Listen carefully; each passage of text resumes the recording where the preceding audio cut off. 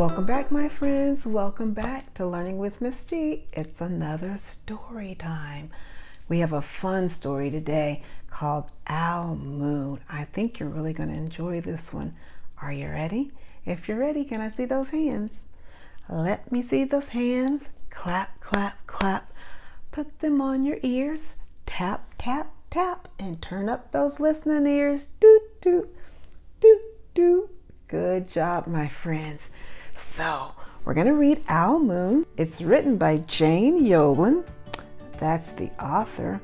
And the illustrator is John Schoenherr. That's who drew the pictures of this wonderful book. Owl Moon. It was late one winter night, long past my bedtime, when Pa and I went owling. There was no wind, the trees stood still as giant statues, and the moon was so bright the sky seemed to shine.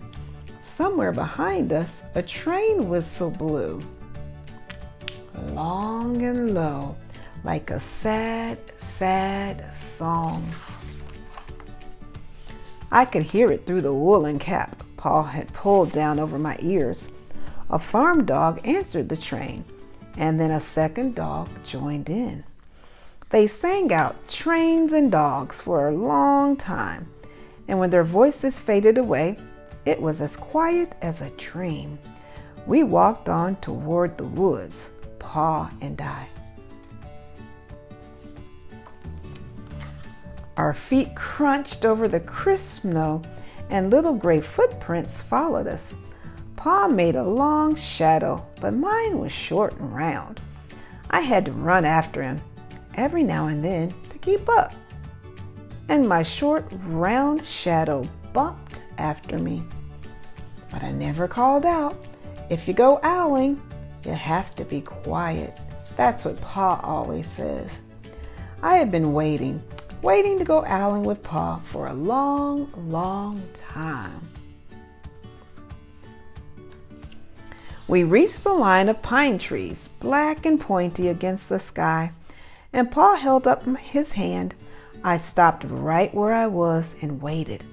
He looked up as if searching the stars, as if reading a map up there. The moon made his face into a silver mask. Then he called, Hoo, hoo, hoo, hoo, hoo. The sound of a great horned owl. Hoo,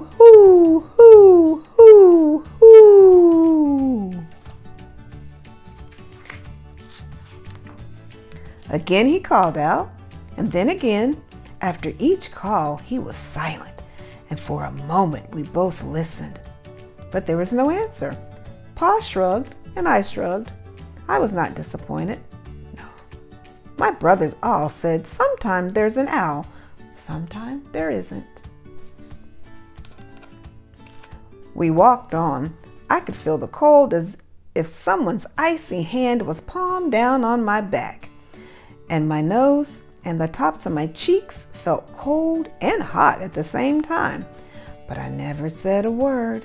If you go owling, you have to be quiet and make your own heat.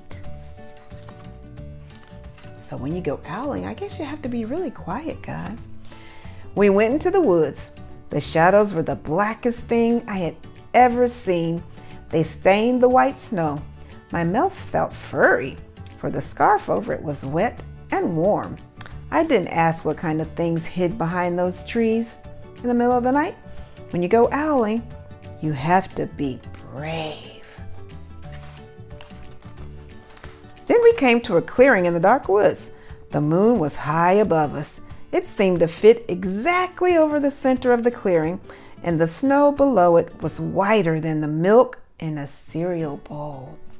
Whoa, that's pretty white. I sighed, and Pa held up his hand at the sound.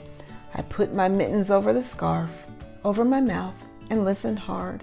And then Pa called, Hoo, hoo, hoo, hoo, hoo, hoo. Hoo, hoo, hoo, hoo, hoo, hoo. I listened and looked so hard my ears hurt and my eyes got cloudy with the cold. Pa raised his face to call out again, but before he could open his mouth, an echo came threading its way through the trees. Hoo, hoo, hoo, hoo, hoo, hoo. Pa almost smiled. Then he called back, hoo, hoo, hoo, hoo, hoo, hoo. Just as if he and the owl were talking about supper or about the woods or the moon or the cold. I took my mitten off the scarf, off my mouth, and I almost smiled too. The owl's call came closer from high up in the trees on the edge of the meadow. Nothing in the meadow moved. All of a sudden, an owl shadow, part of the big tree shadow, lifted off and flew right over us. We watched silently with heat in our mouths, the heat of all those words we had not spoken. The shadow hooted again.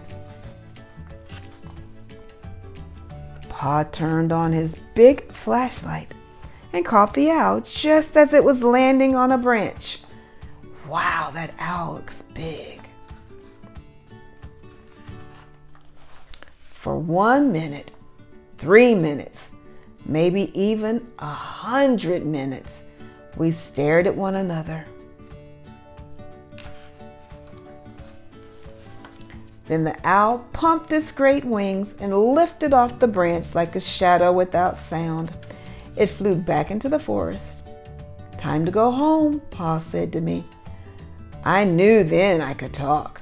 I could even laugh out loud. But I was a shadow as we walked home. When you go owling, you don't need words or warm or anything but hope. That's what Pa says, the kind of hope that flies on silent wings under a shining owl moon. And that, my friends, is the end of Owl Moon. I hope you enjoyed that story. That's a fun one, isn't it? I hope I get to see you right back here in Learning with Miss G. If you want to hear more stories that Miss G has for you, just go ahead and subscribe to my channel. That way, you'll never miss a story that I have for you guys. All right, I'm going to sing our goodbye song, and I'll see you next time when you come right back here in Learning with Miss G. Goodbye. See you again. Goodbye. See you again. Goodbye. See you again. See you again, my friends. Goodbye, friends. I'll see you next time in Learning with Miss G.